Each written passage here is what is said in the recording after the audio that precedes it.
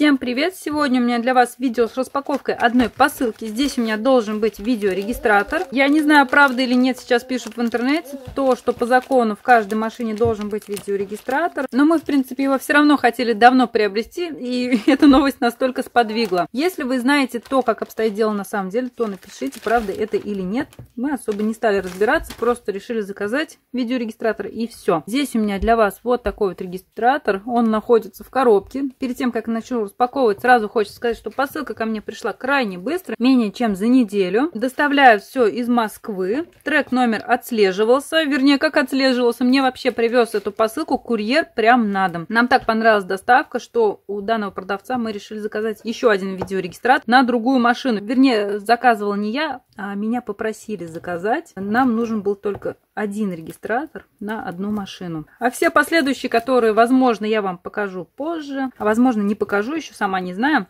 мы уже заказывали не себе. Так, коробка была запакована в пленку. Модель нашего видеорегистратора называется вот так. Mi Drive, как вы видите, Mi Drive D08. Вот все данные. Если вам хочется посмотреть, то поставьте на паузу, почитайте более подробно. Он очень-очень маленький, как мне кажется. Я почему-то думала, что он будет намного больше, но нету. Прям такая малюточка, меньше, чем ладонь. Вот, сам видеорегистратор пришел упакованный вот в такой пластик. Далее Давайте посмотрим комплектацию, а потом уже вернемся к видеорегистратору. В комплекте идет инструкция по применению. Очень надеюсь, что здесь есть русский язык и можно будет прочитать на русском языке. Вижу, здесь есть вот такая вот пленочка. Ее, видимо, нужно будет приклеить на сам видеорегистратор или куда-либо. Не знаю, еще не разобралась, но тут есть картинки. Надеюсь, дальше будет понятно, для чего что нужно. Так, инструкция на нескольких языках. Также есть русский язык. И, как я вижу, здесь у нас не только написано буквами, также, конечно же, имеются картинки, то, как, что нужно делать. Поэтому, я думаю, не составит труда для того, чтобы разобраться с данным видеорегистратором. И один момент. У продавца можно было заказать видеорегистратор с флешкой, но так как у нас микрофлешка имелась, поэтому мы заказывали без флешки. А так можно использовать флешку от 16 гигабайтов до 64. И вот она все на русском языке.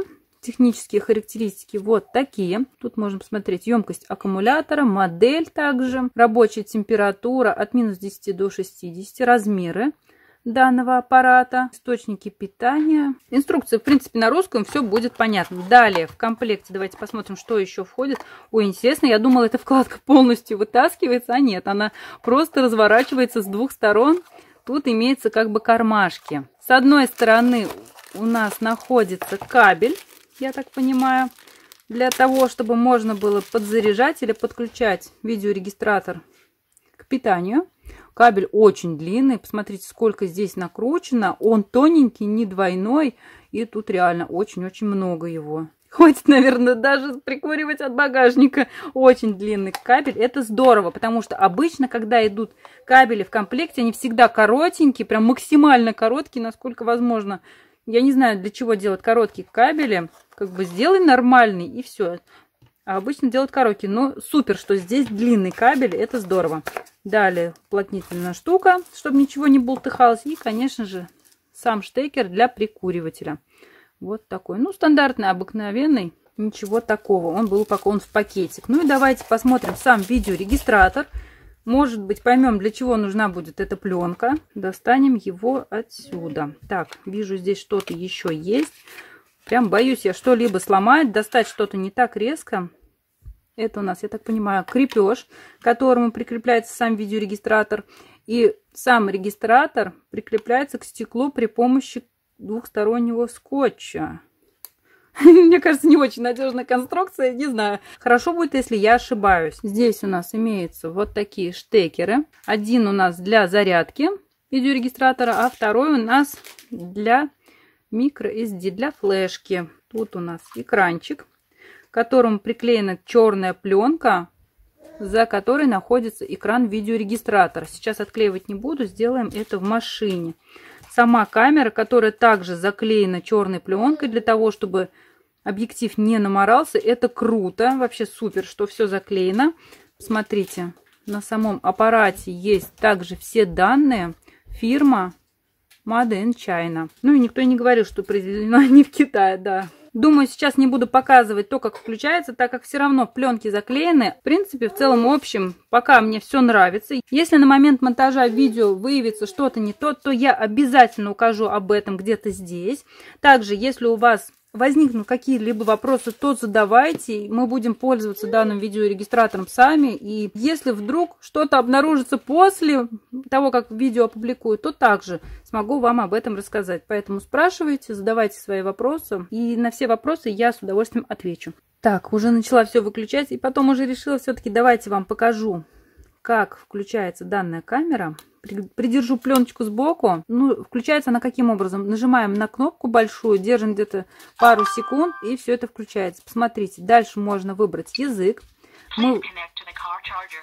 Она выдает, что у нас нет карты, не стоит здесь. Так, язык выбираем русский.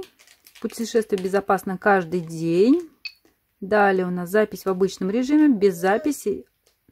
Ошибка. Так, убедитесь, что системная Время установлено правильно, чтобы неточные метки времени не повлияли на доказательства. Тут надо будет у нас указать дату. Сегодня я не помню, какое число. Я знаю, что сегодня у нас сентябрь. Надеюсь, видео не будет затянутым и выйдет как можно быстрее, хотя, как показывает практика, у меня бывает такое, что видео я могу выложить и через год после того, как я его засняла. Поэтому, если вы увидите это на следующий год, то привет вам из прошлого. Уровень заряда батареи. О, посмотрите, я перевела на русский язык, и камера начала разговаривать на русском языке. Очень круто. Она не только русифицирована, также все на русском языке она с вами разговаривает. Мне кажется, классно. И все, она выключилась. То есть камера разряжена, нужно ее поставить на зарядку. Но в целом, в общем, я думаю, немножечко вам показала, потому что до этого не показала и решила все-таки уточнить и рассказать также про это. Я уже сюда прицепила крепеж, который должен приклеивается к стеклу лобовому. И вот таким образом все это снимает. Я думаю, также здорово это то, что камера небольшая, и она не будет мешать обзору, и во время поездки никаких неудобств не сделает. На этом у меня все. Надеюсь, вам понравилось мое видео. Если это так, то обязательно поставьте пальчик вверх. Мне будет очень приятно. Я буду знать, что я не зря стараюсь. Остались вопросы. Еще раз повторяю, задавайте. Я с удовольствием отвечу. Ссылочку на видеорегистратор оставлю в описании. Поэтому если заинтересовал видеорегистратор, то проходите, смотрите более подробно. Спасибо за внимание. Всех целую. Пока-пока.